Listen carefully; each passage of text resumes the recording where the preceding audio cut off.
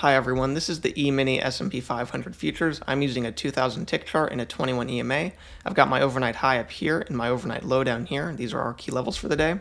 So I started trading at 8 Central Time, which is this area right here, and notice that we have this sharp push down before making a break and then pushing down, attempting to make a new low, down to where I started trading right here. And this first leg down is made up of these two legs, just like on this break right here, it's made up of these two legs, but on a bigger picture, you have one leg on each because price action gets bigger picture as more time goes on. So, you know, at first you have this little uptrend, break, and then a push to a new high. So this uptrend is played out with a break and a new high, and then price starts attempting to reverse back down. When on a bigger picture, this trend playing out is the break, and then you're pushing down to a new low for this downtrend. So when we start pushing up right here, very soon after I started, we start pushing on up here and we're clearly making a two-legged break at this point. You know, we're pushing down to a new low, but when we suddenly start pushing up, that's when it's clear we're forming a bigger picture failed second entry. So starting from the top, it's first entry long, second entry long, and then we can look for the failure up here. So it's just a failed second entry, but much bigger picture. So we continue that push up here, and we start finding resistance before we actually reach the measured move now. And when that happens, you still have two clear legs at this point, so it could just reverse on down from there. It's not always going to reach the measured move. It's, it could very easily just push into a reversal pattern. You know, and that would have been great. If it pushes into a reversal pattern, a nice failed second entry from here, you know, push below the EMA with two legs back, holding on to it, then, you know, we could find a great short there. It doesn't always need to reach that measured move. You know, when you have two clear legs, that'll be enough. But in this case here, it doesn't do that. It finds some support here and then has a sharp push up and it finds resistance right at that previous high. So that's when this range right here, not this one, but this one right here becomes a little bit more clear. And so we push lower here and we find support. And now from here, we're forming this two-legged move up. We make this second entry short right up to that measured move level. So not only is it just any measured move level, it's a big picture failed second entry. We have two legs up, with a nice bearish reaction right off of it. And we've also been chopping right through that EMA, so I, of course, did not care about entering into the EMA there. And we push on lower here, but then we find support right here. Now, you obviously don't want to push your target past that just in case it does, but considering it found support and then just shot all the way back up, what that's telling me is that this failed second entry, this big picture one, might not be as strong as it looks. You know, this looks like a very big picture trade, and it is, but, you know, it just you don't get the it doesn't do that big on push down you know it just stays within this trend right here. And so basically considering that it seems like we're going into an uptrend. Now it kind of just stays choppy at this point. We push on up we get this push back down it starts getting into this little congestion right there. But then here we actually push on up and then we get this sharper push down. Now this is the clearer the much clearer attempt at a new low for this downtrend because this is the first big reaction to this measured move. At first, we had these reactions, but it was just staying within this chop right here. It was staying within this range. This one actually had a clear breakout, faded back in, and offered the strongest move.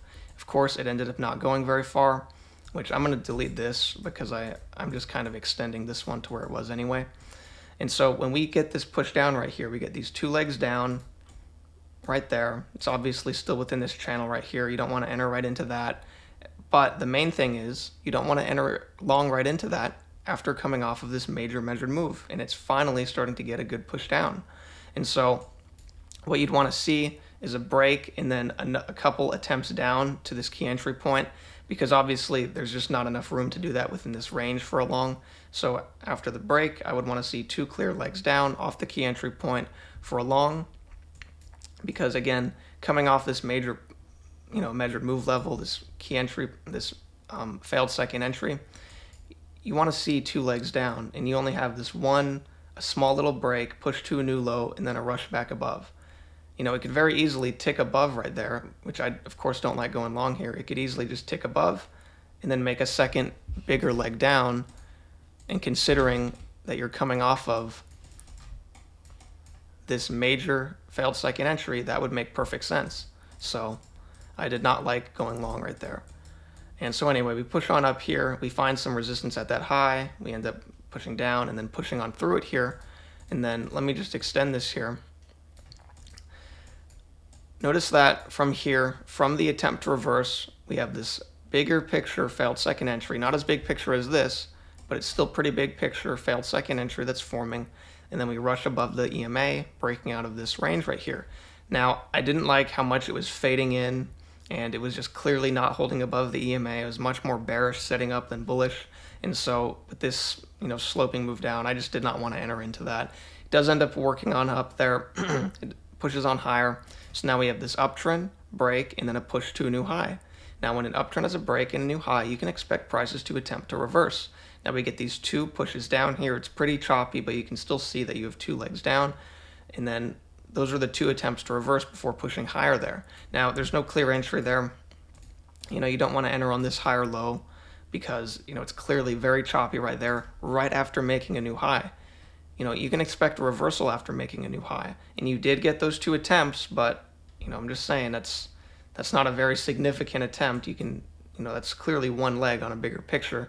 So what could happen is you take this higher low right after making a new high into this chop right here, and then it just ticks higher, reaches this, and then pushes into a second leg down. That could very easily happen.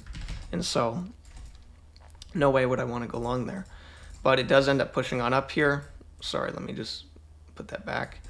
We reach that measured move, starts getting very choppy here. Now, keep in mind, yeah, you can still look to reach that measured move after it makes the new high, but in this case here, you just don't get a setup for it. What I'd like to see is something like this with two legs back, but actually holding above the EMA and with clear legs, not choppy legs. So we push on up here, we start getting choppy right before reaching that measured move, kind of like what happened um, a little bit earlier where it found some resistance early. Sometimes that's going to happen. And then we push on up, almost reach it. It's clearly like it's trying to break out of this chop right here and then a fade back in, although it is still basically within it here. Drag it to those bodies. It's a little bit more clear that it's trying to break out there. Um, and so anyways, we push back lower here, starts getting choppy. There's no longs in here. I mean, it's just straight sideways. There's, of course, nothing to enter on. You don't want to take this long, breaking out of this range right here. You know, also it's right into that measured move, so could very easily just bounce right off of it and get stopped out. But it does end up pushing on up here, and then it overshoots this whole channel. And so overshoots tend to lead to breaks. As soon as it overshoots, it starts going into this downtrend right here. It starts spiking down and notice we get this push down. What could have happened was we get a reversal pattern because in an uptrend, you can get a reversal pattern down, and they're particularly good after an overshoot because overshoots lead to breaks. And even though this initial big picture failed second entry didn't work, when it makes an overshoot and starts pushing down right there, that's an opportunity to get in on that second big picture leg down. You know, it can still attempt a big leg down even though the initial failed second entry didn't pop off, you know, there's still all of this room for it to have a correction and make another leg down. And so this is a great place for a reversal pattern. It just doesn't form one. Yeah, it would have just been great to, you know, a nice push down with a couple legs back, forming a good failed second entry. Um, yeah, could have gotten a nice short there, but it just didn't form. So anyway, we push on lower here. I kind of wish I didn't draw that whole, whole thing out there because now I have to delete it. Um, we push on lower here, small break. It you know it doesn't really matter. Break, new low. It's still part of the same move on a slightly bigger picture. We have this push down, starts getting choppy, and then we get this break. This is the clear break, not this right here. This whole thing right here is one move down before we get a break and then price pushes down to a new low and starts getting choppy, starts finding some support, getting into this range right here. At first it's like that, as you can see, then we break out, fade back in, and then as we got this breakout, I kind of extended it to see how it holds. Um, but usually when you extend the highs of range, you want to see a bigger push down, but as soon as it reached it, it started chopping like crazy in that area, so it seemed, still seems valid right there. Um, so anyway, after the downtrend played out, had a break, new low, couple legs up right there. You know, on that range, it pushed up, formed the range, and then on that breakout before the fade, you can still tell that there's two legs up right there. Um, and it is also off this key entry point. Now, you can look to get short here.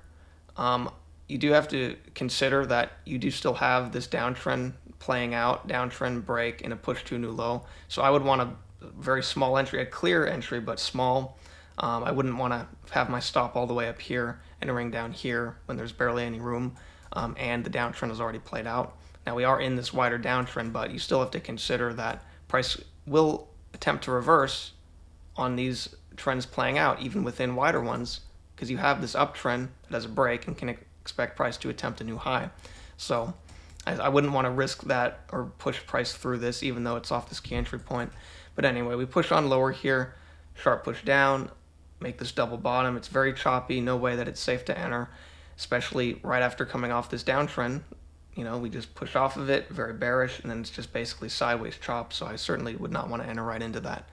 But anyway, we push on out here. Notice we get these couple legs up. It starts to get choppy. Let me put this back where it was. Find resistance right here. That's when this range is extended is a little bit more clear. And then we get a breakout and then a fade back in. makes a double top with that previous um, swing right there. We push on lower and now we have downtrend, break, push to a new low, and then an attempt to reverse. Now, when price is attempting to, re to reverse here, we are also looking to make a new high for this uptrend right here. So this is a great place for a failed second entry because it's a reversal pattern from this downtrend playing out, making the new high for this uptrend. So a failed second entry that holds above the EMA would be a great trade in this area, but it just doesn't form and it just pushes on up like crazy with no correction to give us a failed second entry, unfortunately. And then it starts to get choppy up here, sharp push on down. Now, so now at this point we have this uptrend, this break. It's you know you can see it's a break with two legs, basically this two-legged break right here, and then that sharp push up to a new high. Now on the break right here, you know the break from this first push up, we can get we can start that second leg up and look to get in on it. So say we get the break right here, push up, we can push into another failed second entry just from there. Um, and look to get in on that second leg. I'm just explaining what could happen, you know, after price does certain things. But in that case, you know, it just keeps on going down. Now, if price were to form a failed second entry to go short, so if price were to push lower and get two clear legs back, you know, say something like, you know, this right here, then what we'd have is we would have an uptrend with a break and then two attempts at a new high. So we would be able to look for a short if it sets up well. It would have to set up well below the EMA you know, it would have to be clearly not wanting to make that new high for this uptrend right here. You know, so you have to stick with what price is doing. The EMA is, is important, what price is doing with the EMA. You know, if it has a break and rushes back above, then you're immediately going to want to start looking to get in on that second leg higher. But if it rushes below and then you get a couple legs back and then it's you know even though it would get it would get back above the EMA on the two legs back but if it starts pushing lower and it's clearly trying to it's not wanting to make a new high it's wanting to push on down then you look to get in on the failed second entry the other way. Um, you know push lower couple legs back with an entry pushing back below the EMA then that would have been great but it just doesn't happen here. It just pushes on down without that correction.